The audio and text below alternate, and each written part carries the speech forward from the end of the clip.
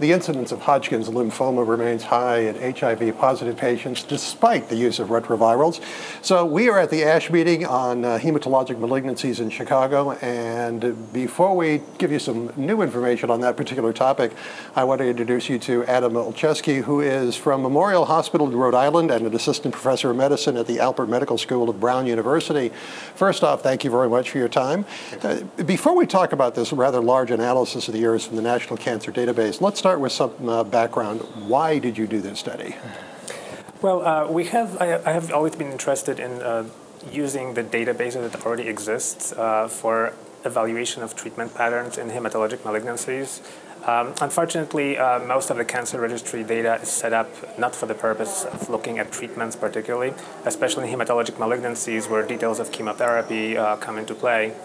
But uh, we obtained the data set from the National Cancer Database, uh, and we wanted to look at uh, various treatment patterns over the past 10, 15 years in patients who had HIV infection, both in non-Hodgkin and Hodgkin lymphoma.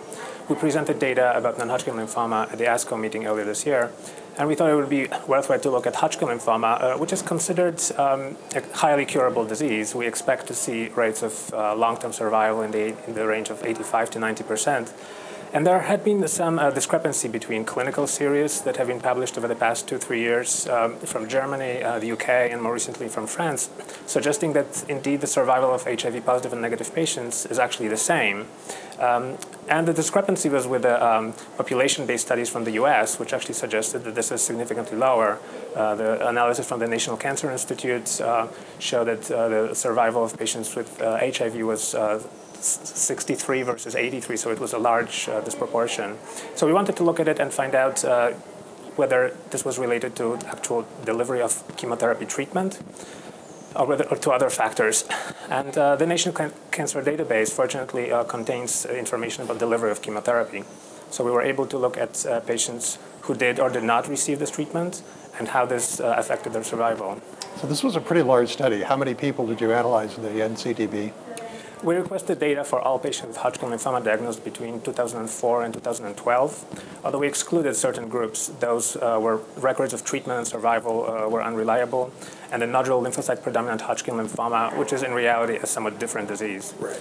So in the end, uh, we had about 44,000 patients with uh, Hodgkin lymphoma, of which 5% uh, had a recorded HIV positive status, which was consistent with the data from the SEER database, uh, where there was uh, about 4%.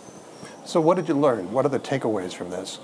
So interestingly, what we have found that uh, if we somewhat simplistically look at uh, unadjusted survival of all patients, it consistently uh, comes down lower for patients who are HIV positive.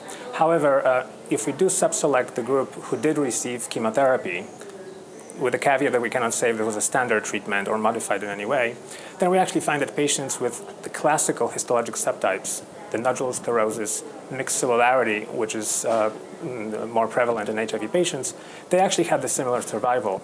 Uh, in this very large data set, the, there was no statistically significant difference between uh, those subtypes. However, there's a fairly large group, about 40% of patients with HIV uh, uh, infection, who had an um, unrecorded, undetermined uh, histologic subtype of Hodgkin lymphoma. And these patients persistently have worse survival, even with administration of standard therapy. We could not tell if these were the patients who um, had uh, worse HIV-related status, uh, no treatment, or more profound immunosuppression, or whether there is something biologically different about patients who have undetermined subtype, perhaps related to bone marrow involvement. Uh, a significant proportion of these patients were diagnosed from the bone marrow biopsy. Um, or whether there are other factors. These patients were at higher risk of actually not receiving treatment. And we also identified uh, other groups uh, at higher risk of not receiving therapy. Altogether, about 81% of patients uh, received chemotherapy, which was lower than among HIV negative patients. Um, but uh, patients who are black, uh, living in uh, lower income areas, or who are older, at high, were at high risk of actually not receiving standard treatment. So, do you think that's why so many HIV positive patients were less likely to receive chemotherapy than the HIV negative patients? Um, right. I think that there are many factors of which many are unobserved. I think the principal factor that, that is driving delivery of treatment is the clinician's perception of whether the patient can withstand it or not. Um, HIV uh, positive patients uh, with Hodgkin lymphoma have interestingly typically higher CD4 counts than we see in non-Hodgkin lymphoma. And yet there are groups uh, who may have more advanced AIDS um, or other medical problems or psychosocial barriers to receiving treatment. And I think one of the main points uh, of the study uh, for the clinicians is that uh, we should try to deliver a standard curative therapy for Hodgkin lymphoma as long as it is possible, and we have to find ways to deliver it safely using growth factors, um, using our colleagues in infectious disease uh, departments to help us manage the antiretrovirals and the infectious disease prophylaxis. And if you do use it, the the odds are pretty much equal Right, that so they're going to get very he- important, yes. assistance. That we, we do see uh, survival rates uh, that are identical to patients who are HIV negative as long as they're able to receive uh, the same treatment. Now, for this Hodgkin's lymphoma with undetermined histology, what do you take away from this? I mean, is there are these people who really you have to try and target as much as possible? Are they not help, helpable? I mean, what's what are you learning from these? Unfortunately, this is a limitation of this data set. We could not really tell uh, why they had this undetermined subtype. Uh, there is also a, a, a significant uh, group of HIV negative patients who have undetermined subtype, and actually they do fairly well. So, what's specific about HIV positive patients? Perhaps this is a particularly aggressive disease that is invading extranodal sites where the excisional lymph node biopsy is not a possibility, or maybe these are just the patients who have very uh, poor immune status. So your take-home message then?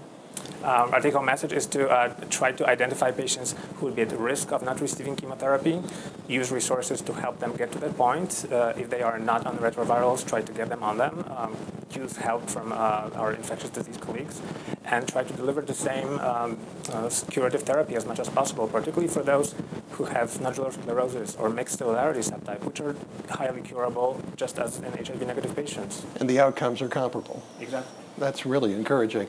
We have a variety of uh, interviews that we're doing here in Chicago, so please look around for those. And for ASH Clinical News, I am Rick McGuire.